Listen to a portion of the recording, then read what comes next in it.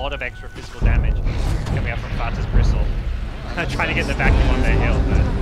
Gonna chase. N0tail's gonna come in. They deploy the chrono, but his back is facing them. They've got to get on the front side.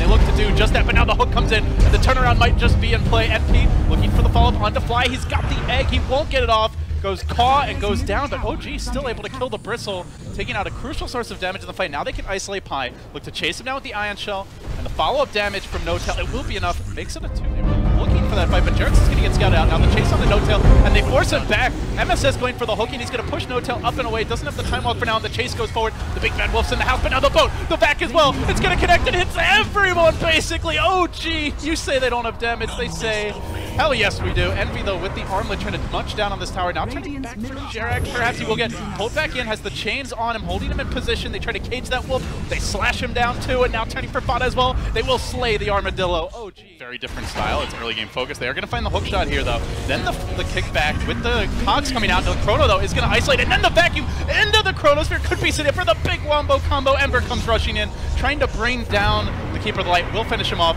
Now the boat coming out and looking for the additional follow-up. Will they be able to get this kill on MSS? It looks like they will. Easy peasy cleanup. NP lose three. Fata maybe makes it away here, but even if he does, the damage already done. So they continue to lose kills and not even going to happen. Oh, OG's so good at gap closing, so great at chasing.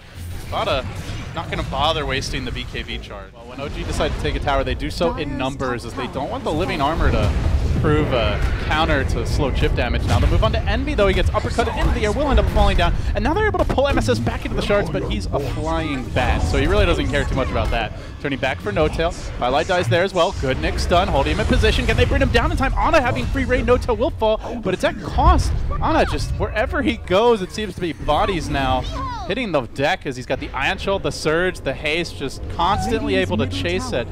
Max move speed onto Fata. Will he find the kill here? One more tech. He will at that, and Ana is right back in the game. Could well be in the lead if he also gets this Pieliedie kill. Good two-hero stun. OG calling for a pause in the meanwhile, but it's going to be after Pieliedie hits the deck. I think I was a misclick on his chat. Love a few more kills like this. It's where you time to okay, time to not have your TA ideally get picked off, but that is not an option for him. Story of the game. Feels like Ana has died pretty much constantly, and not even really his fault, uh, as he's just struggling to find any form of map. No outer towers on this entire upper half. Just the one, two, two bottom, and now the overgrowth coming out. Aui from the rear with the tree flank, but do they have the fall damage? Envy pummeling them with decent damage from the Maelstrom, and not enough burst to bring him down. He's too damn tanky. He just continues to move forward, getting the swarm off on S4. They find a third kill, and can they chase for the darks here? That's the question.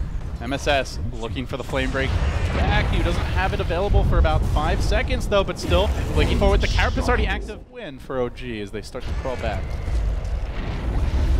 We're looking for more here. Envy getting caught out, but so difficult to bring down.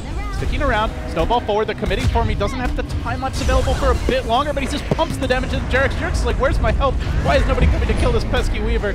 TA still engaging forward. Finally, they'll bring Envy down, but coming right back with the Aegis momentarily. It's a triple kill for MSS, quietly cleaning up in the meanwhile, and now they can begin to deal with the Chaos Knight. Finish him off. Forward, now Ana has the mana to get out, I do believe, until Envy comes in from behind, drills him with an arrow, follow-ups there, finds the kill, and now they want Jerax too.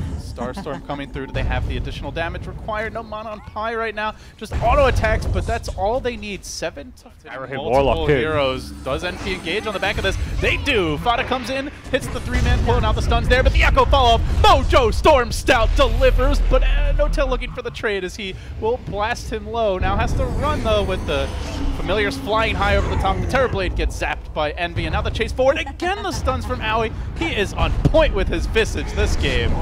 Used to be one of his most available. Stalking them as Ana jumps in. Big commitment from him. Jumping in as well as the Nyx assassin, but they do get stunned. They get locked down for a moment here. Finally, the Impale comes out. The lockdown's there, but is the follow-up damage secured? Fana jumping away to the high ground. Stays alive for now.